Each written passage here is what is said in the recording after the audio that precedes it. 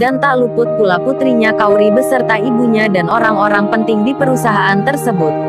Acara pun dimulai, dari pembukaan hingga substansi-substansi isinya. Dan akhirnya menginjak pada sesi acara ramah tamah. Makan bersama, mulailah pegawai-pegawai seprofesi Kensi keluar, dan melayani tamu-tamu penting tersebut. Termasuk Kensi sendiri yang membawa serbet putih dan lap. Guna persiapan jika ada meja yang terkena noda. Pada saat itu Kensi tidak sadar bahwa ada beberapa orang penting anak buah ayahnya sangat mengenal dirinya. Suasana pada saat itu ramai tapi tetap teratur. Di sudut kursi kanan, nampak sang wanita cantik Kauri, yang mana selama ini menganggap sebelah mata profesi Kensi. Ia bersama ayah ibunya dan beberapa orang penting lainnya, sambil memandang ke arah tamu-tamu penting di sekitar itu.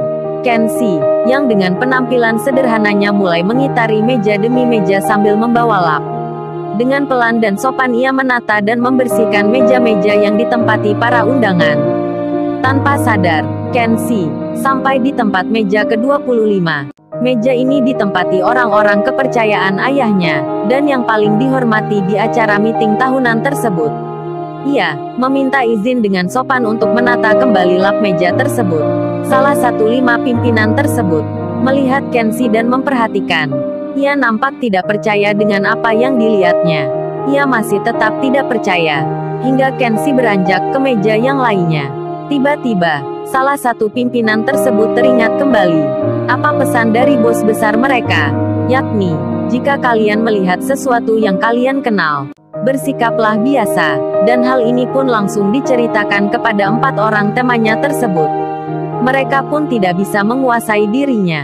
Tiba-tiba mereka berlima keluar meja bersama-sama. Hal ini menjadi perhatian dari tamu-tamu lainnya termasuk Kauri dan ayahnya. Mereka semua bertanya, ada apa ini?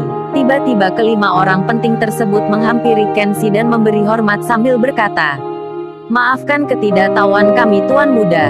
Kensi pun kaget, terbongkar identitasnya, dan seluruh tamu juga heran dan bertanya ada apa ini. Apa yang terjadi? Hiruk pikuk. Semua mata tertuju pada lima pimpinan perusahaan yang memberi hormat pada seorang cleaning service. Bersambung, nantikan kisah selanjutnya, yang berjudul, Kauri tersipu malu saat bertemu Kensi. Jangan lupa subscribe channel ini. Terima kasih.